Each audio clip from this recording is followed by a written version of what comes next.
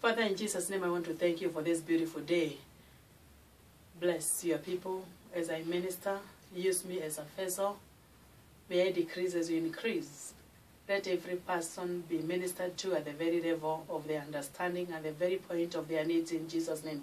Amen. My name is Florence Minor, welcoming you to yet another time of Celebrate Your Moment with Joy this beautiful day. It is the last day of the month of February, and I started by sharing about love because it is about Valentine, even though Valentine was the 14th. Maybe you are there, you are bought a gift, you are bought even a very good card, and after several days, you are being, you are called useless.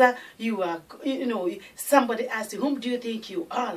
I want to remind you that we started by sharing john 3.16 that for god so loved the world that he gave his only begotten son that whosoever believes in him should not perish but have eternal life. If you believe you can have eternal life. The or, the scripture of uh, sharing today is isaiah 53 and verse 1 and the title of my message will be Whose Report Will You Believe?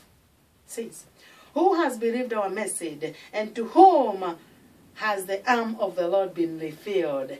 Yes, be after the 14th. God loves you the same. After someone calls you useless, are you going to believe that report and be depressed? Oh no, because God loved you so much that he gave his only begotten son. When somebody asks you who you are, are you going to know who you are? I want to remind you, you are chosen generation. You are beloved one of the Lord. You are wonderful and you are fearful and wonderfully made. The Lord loves you so much. He calls you his own. He knows you by name. You are royal priesthood. So you do not need to be put down by anybody because this word, it is powerful. And that's why I'm encouraging each and every person to have this word in your heart. Read it for yourself and identify yourself with what the Lord says you are there, you have never trusted the Lord because you have been let down by many people. I want to tell you, the Lord will lift you up. You've been there, you've been discouraged. You have felt like you are so lonely. No, you do not be alone